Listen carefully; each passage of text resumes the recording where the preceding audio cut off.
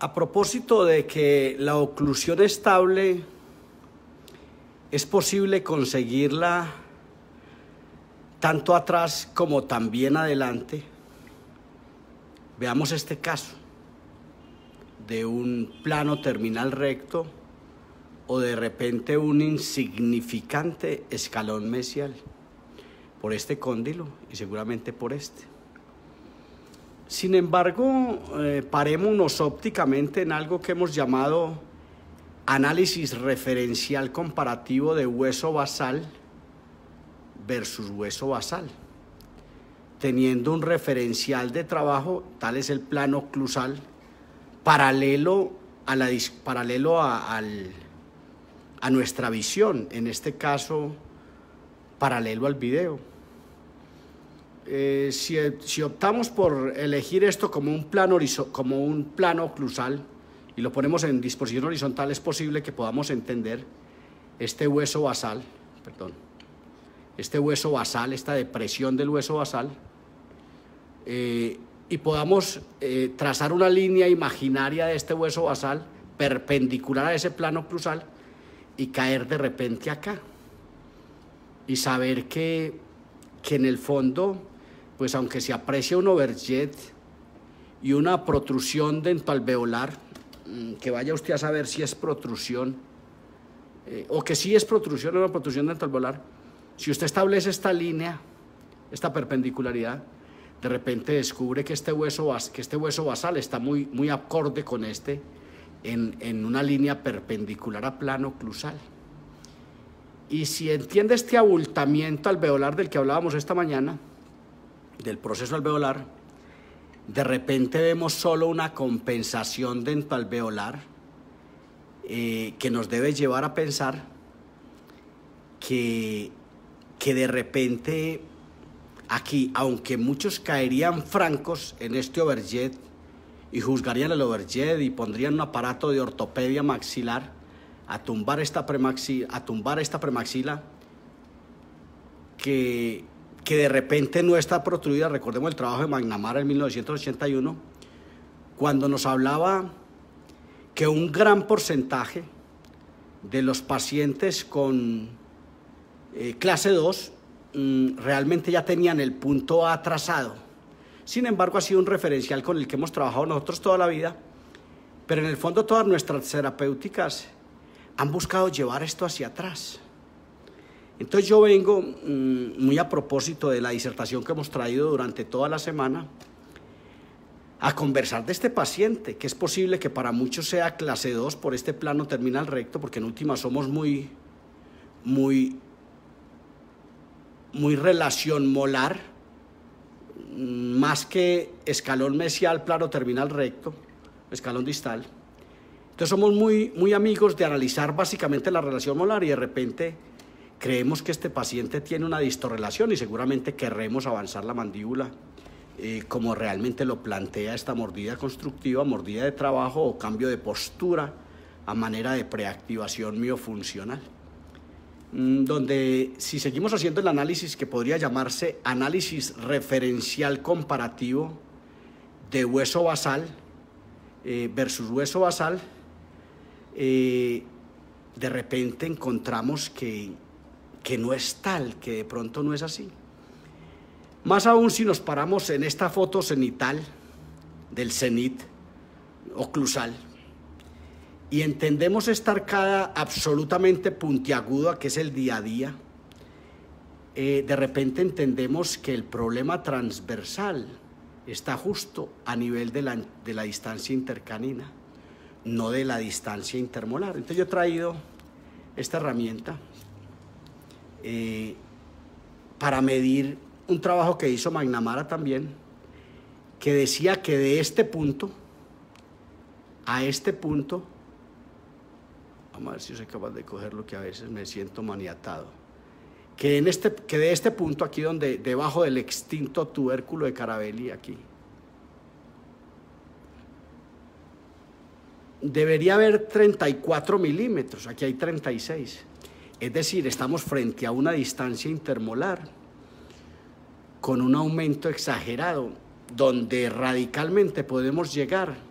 a pensar que la, que la estrechez latente está en el, en el sector anterior, la distancia intercanina. Pero no, de repente nos venimos con un aparato bimaxilar y con ese aparato bimaxilar queremos, queremos ampliar, todas las, ampliar el los arcos dentales simultáneamente. El grave problema de este paciente está en el sector anterior y aquí tenemos que pararnos en un componente muscular que hay acá, que se llama el orbicular de los labios, que es responsable muchas veces de esto. Sin embargo, la, paideia de los griegos, la, la educación psicomotriz de los niños apoyado en el lenguaje, eh, a veces hoy tenemos en Latinoamérica particularmente niños con unas dificultades en su lenguaje que no mueven siquiera los labios y que seguramente agravará mucho más esta situación. Eh, yo he hablado todos los días del aparato CLAMP, del método CLAMP que tiene un gran omega palatino, un gran omega palatino calibre 47 y que tiene una, un centro, un centro de, una, ¿cómo se llama? Un vórtice de rotación posterior que básicamente se hace manifiesto en la distancia intercanina. Pero salta a la duda, eh, no deje de ver un trabajo que he hecho que está en YouTube que se llama El conflicto de la interpretación sagital AP. Pero salta a la vista que un arco vestibular de Clam, cuando este omega palatino, mm, cuando este gran omega cofán,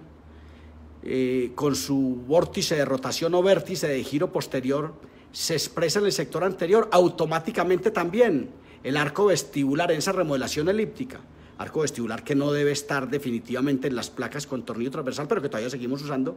por desconocimiento, por falta de fundamentación biofísica. Entonces, eh, en esa medida, esta premaxila tenderá a caerse. Y de repente todo lo que conseguimos acá lo vamos a tumbar nos lo vamos, se lo va a gastar la premaxila y, y seguramente vamos a quedar muy contentos. Pero esta premaxila irá, pero esta premaxila irá para atrás y de repente sería interesante que viniera hacia adelante. Eh, cualquier aparato que se ponga acá, de pronto no debería tener ninguna responsabilidad en el aumento de la distancia intermolar. Si se pusiera una placa con tornillo, el tornillo, lo hemos hablado toda la semana, debería estar muy anterior y debería haber unos muelles compactos triple brazo, haciendo un estímulo ortopédico, no un estímulo de volcamiento de los dientes hacia vestibular, que ya están, ya están volcados hacia vestibular. Una presión, un estímulo ortopédico que aporte desarrollo alveolar. aunado a esta excentricidad de una placa que podría no tener contacto con los molares, porque tenemos una distancia intermolar de 36 milímetros. Entonces, qué bueno pensar en que, en entender que los graves problemas transversales, ahora esto es un juego geométrico, esto es una remodelación elíptica de la que nos habló Wimler y todos vivimos muy fascinados con los diagramas de remodelación elíptica de Wimler, pero en el fondo yo creo que no la entendemos mucho. Esto es un juego, esto es una remodelación elíptica, esto es un juego geométrico, geométrico matemático. Eh, no es descabellado pensar en el análisis del huevo, que parece jocoso para la academia, parece ridículo, a cuál, a cuál punta, del, a cuál extremo del huevo se parece esta arcada dental, a la, a la arcada, a la parte redonda del huevo o la parte puntuda, a cuál, a cuál arco se parece esto, al arco romano o al arco gótico. Porque realmente el problema está por acá, pero todas nuestras terapéuticas, todas, la ortodoncia y la ortopedia, todas están buscando llevar hacia atrás esto y afectar la caja de la dicción de los pacientes, la caja de resonancia de las arcadas dentales,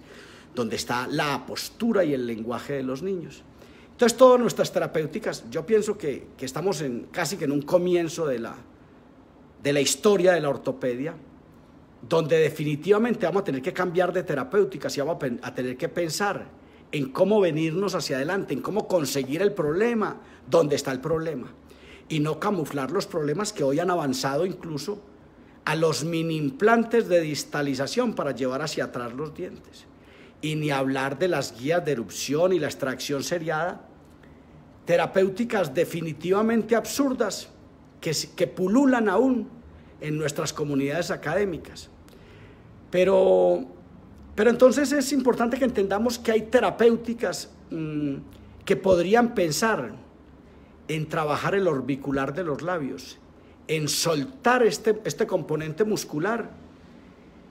para que este desarrollo se pueda hacer hacia adelante. Mm, yo le voy a presentar, le he presentado en muchas ocasiones el arco bumper de desarrollo, el arco de clam,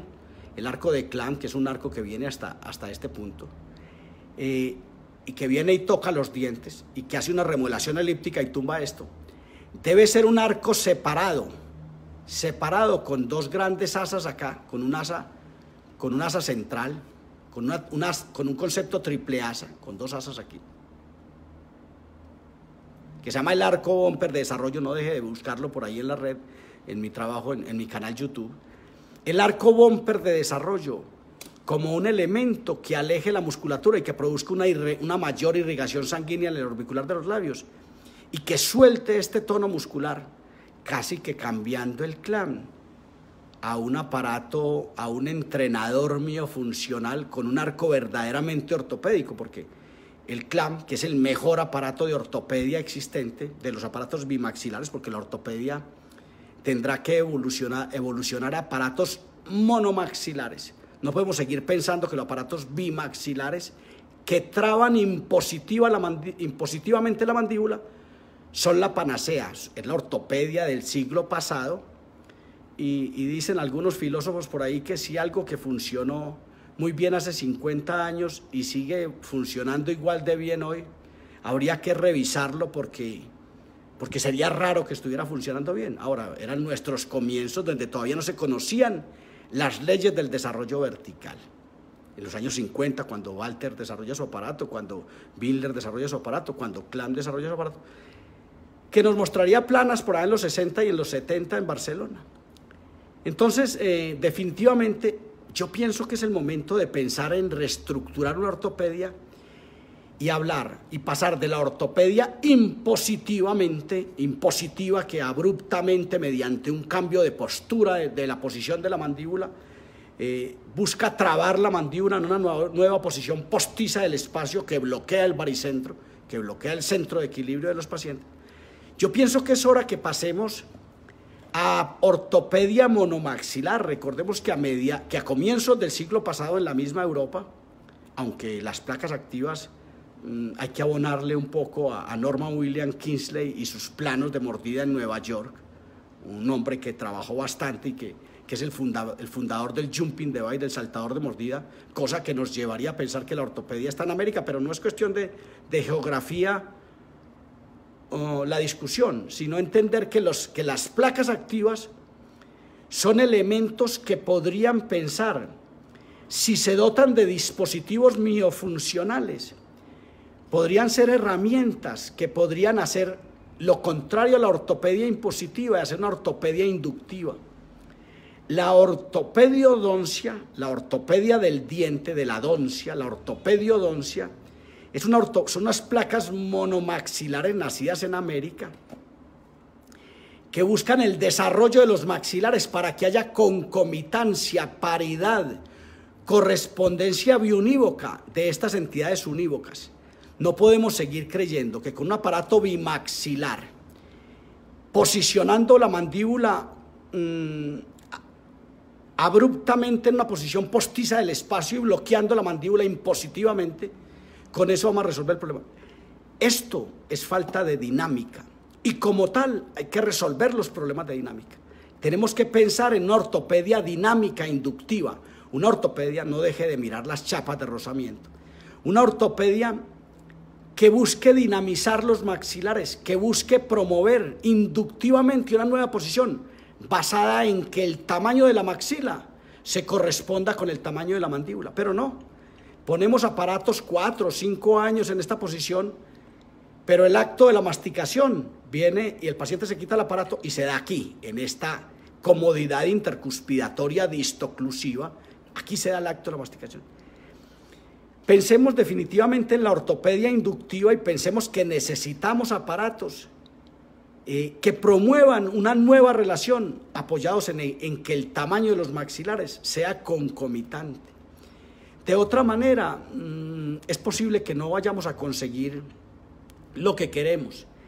El próximo año, voy a pasar a hacerle una cuña, el próximo año estaré mm, por Latinoamérica y Europa. Eh, tenemos claras las fechas de, de Argentina. Argentina será la primera semana del mes de marzo.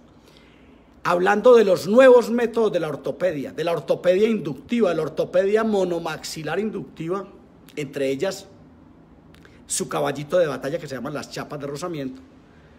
eh, que son unos videos que ustedes han visto y que si no han visto los invito a, seguir mi trabajo en el canal, a seguir mi canal YouTube y a seguir mi trabajo en Facebook donde, donde hago constantemente estos videos en directo, que son una propuesta, no, no tienen un formato ni tienen un, un, programa establecido para desarrollar el, el, el discurso, sino que es una especie de pasión de contar de cosas que son el día a día. Esto es un trabajo que, que nos corresponde hacer en esta empresa, donde está latente definitivamente mi discurso. ¿Qué hay aquí? Estrechez transversal del sector anterior y como tal es donde hay que ir a resolver el problema. La ortopedia inductiva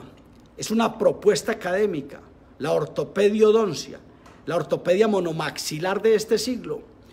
de placas activas de respuesta miofuncional, entre ellos la placa horizontal, que es una placa que podría ir muy bien en este arco, de conseguir desarrollo transversal y hacia adelante, y tener un arco que tiene un arco bumper de desarrollo que no deje de mirarla, se llama la placa horizontal de 360 grados, aunque realmente es de 180 grados hacia adelante, porque lo que busca es expansionar y llevar hacia adelante la premaxila. Entonces le decía que el próximo año, mmm, en en Argentina estaremos la primera semana del mes de marzo y la segunda semana estaremos en Perú. Eh, si le interesa unirse a mis grupos WhatsApp, yo puedo invitarlo porque en el grupo WhatsApp de cada país eh, yo lo voy guiando y le voy mostrando qué trabajo es el que estamos haciendo. Además de eso, le voy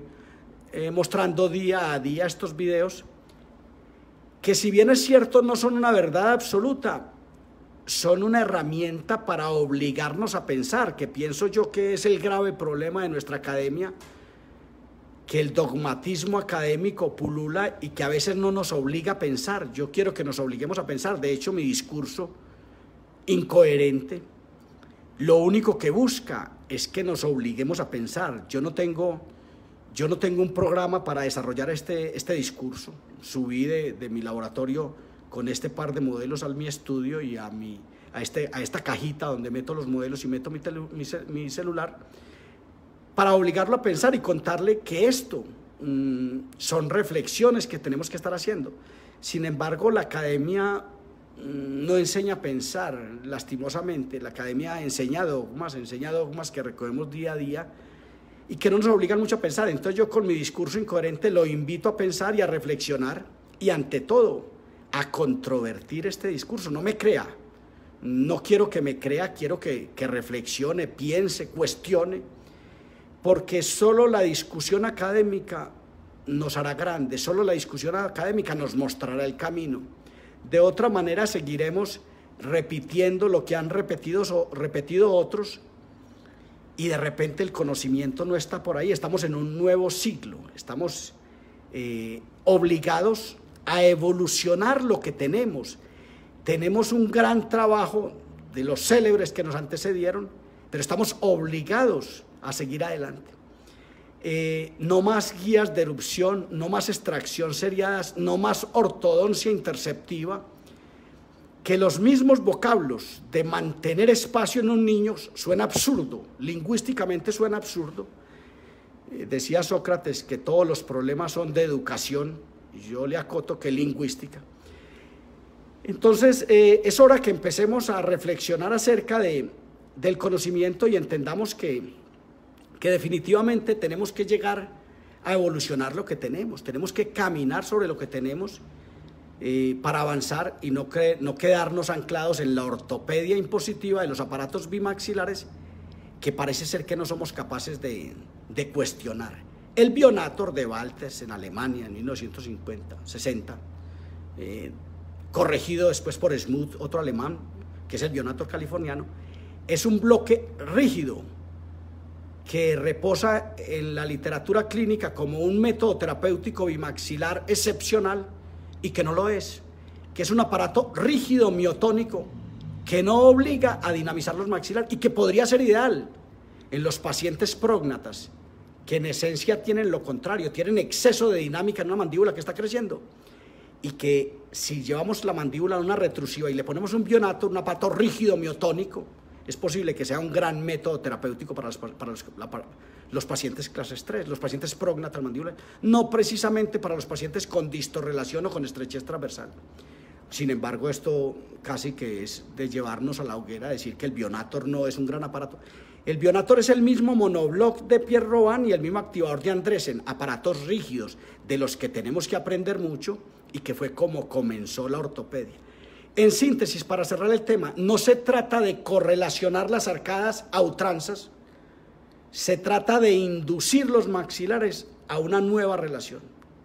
Eh, por vuestra atención, muchas gracias. Eh, déjeme aquí sus comentarios, sus,